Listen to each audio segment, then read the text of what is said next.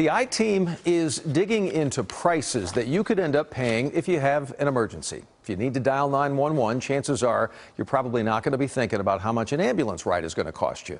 But when it comes to the bill, millions of Americans every year are blindsided. And tonight, investigative reporter Brian New is looking at the loophole right now in federal law that allows this to happen and why tomorrow may be the start of the best chance to fix it. when five year old June pretends to be at the hospital, it's good. Yes. It's easy for her mom to smile. But you gotta stay in the tent for a little bit longer. Oh, no. But when the situation was real, all of a sudden we heard kind of a crash from upstairs. Rachel Metzger says it was scary. Yeah, she like wasn't waking up. It was yeah, it was really scary. June had fallen from a bedroom loft, hit her head, and was unconscious.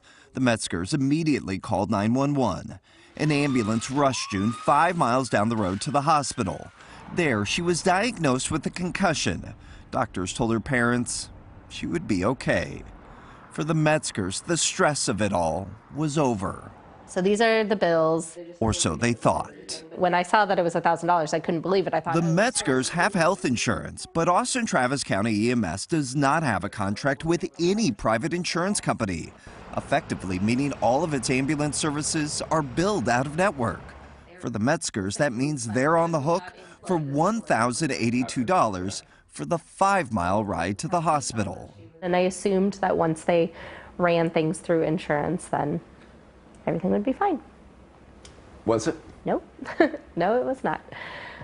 Every year, 3 million insured Americans are taken to the emergency room by an ambulance. Studies show about half of those patients end up with a surprise medical bill. In Texas, it happens even more often, 70% of the time. These out of network ground ambulance bills cost Americans $129 million a year. Circumstances like this can set families back for years. Patricia Kelmar with the Public Interest Network has testified to Congress as a patient advocate. She says when lawmakers passed the 2020 No Surprises Act, it prevented hospitals and doctors from sending patients unexpected out of network bills. But the law doesn't require the same for ground ambulances. We really need to solve this. It's not fair if you're insured that there's a good chance you can't even go in network for an ambulance.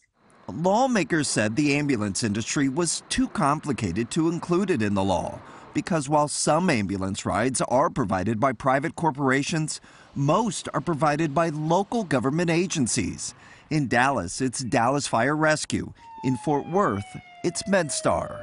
What would happen to ground ambulance services if they were included in these in these bills? Matt Zavadsky of MedStar says if local government run ambulance services could only collect what insurers are willing to pay, either local taxes would have to go up to make up the difference, or their services would have to go down.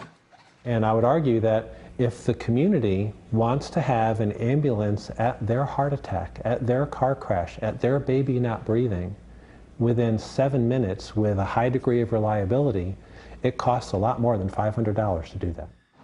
Ambulance providers and insurance companies both say patients should not be stuck with surprise bills.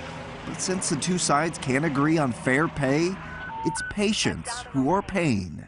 In my mind, they should work with insurance the same way that any other healthcare provider does. After unsuccessful attempts to negotiate, last month the Metzgers began making monthly payments on their ambulance bill. June will be nearly eight years old by the time they pay it off it feels bad to feel like you're getting ripped off by these people who are supposed to be providing you life-saving services. A federal advisory committee on ground ambulance services, which was set up as part of that 2020 No Surprises Act, will meet for the very first time tomorrow. By law, this committee is tasked with coming up with solutions to end surprise bills on ambulance rides. Doug, this committee is made up of multiple government officials, multiple people in the ambulance as well as the insurance industry, along with one consumer advocate and one patient advocate. And you mentioned that the committee is meeting for the first time, and that's going to happen tomorrow. But didn't federal law require that this committee get set up and into effect more than a year ago? Is that right? Yeah, it did, and that has been a point of frustration for some consumer advocates.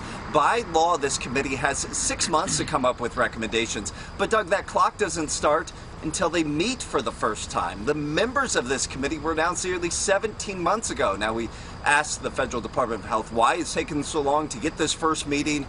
We have not been given an answer. At least we asked the question. Brian New, thank you so much. Insightful.